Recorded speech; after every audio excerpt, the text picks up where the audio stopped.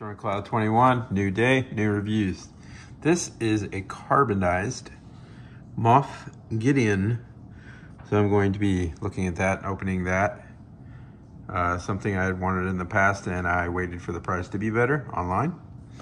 And I'm going to talk about the Star Wars The Mandalorian Shore Trooper, carbonized as well. So I'm going to be opening up these flashy there's four options right here. And uh, we've already looked at this one, the Armorer. And now we're going to look at these two, Moff Gideon and the Shore Trooper. Star Wars The Vintage Collection. Gotta love it. All this shininess, just like that back there. Shiny, shiny, shiny. Reflective with the light. Love it. Let's open it and get to it. First of all, I take it out of the packaging and I'm greeted with this cape thing for Moff Gideon. And here is Moff Gideon himself. Star Wars The Mandalorian. That is the uh, Dark Saber. There's a gun. Here is the man himself, and look at that likeness. That is a very good, very screen accurate looking likeness, the expression on the face, the way that face is sculpted. I think, don't you? I'm going to focus there. This figure has articulation right there. And then of course the wrist articulation. And then of course it can go up and down a little. You can see once it's broken that it can do that. But it hasn't had a chance to yet. He tilts his head around, look around. You can have his torso move. And then you can bend the legs right there. And then also you can bend uh, at the knee. There's the back right there so you can see where you can do that at. There you go. Bend at the knee and then you can see the pivot, the, uh, the feet pivot forward and you can pivot back. Once this is better, been out of the packaging for a while and been used, those joints will loosen up quickly. You can see he has a place to peg in his cape. Let me take that. Just gonna peg that in there. Easy. Okay. And you put his cape on. I probably would want to not have that cape on much. I don't really like it.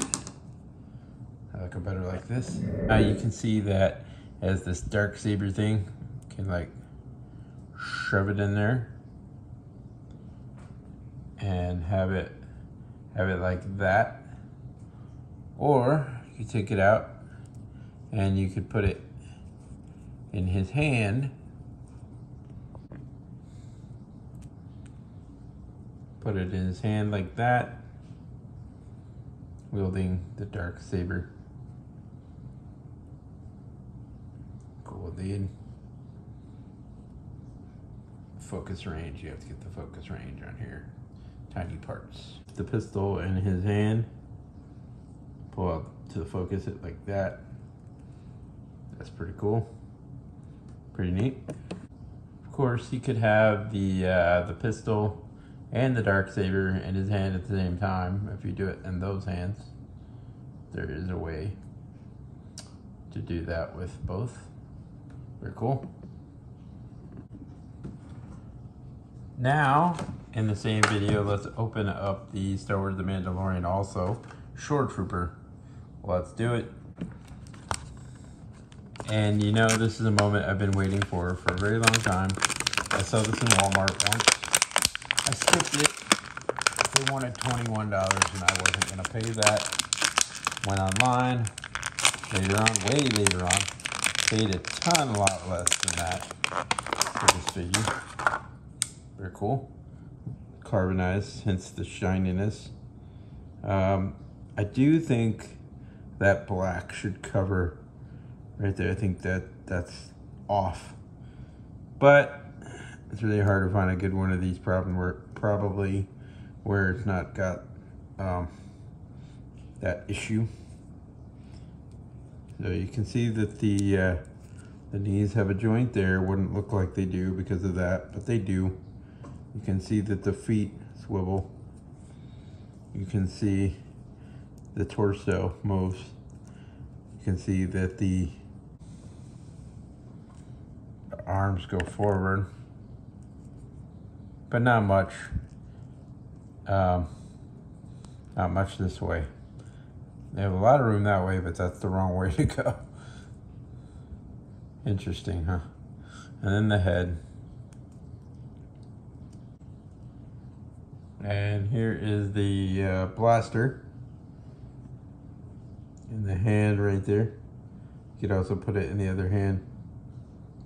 Now I take this figure out of the packaging, I am less impressed than when it was in the packaging. It was a lot better looking.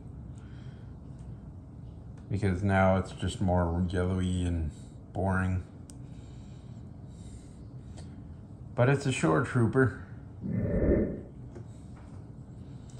So there you have it. This is Stormy Cloud 21. Thank you for watching this review.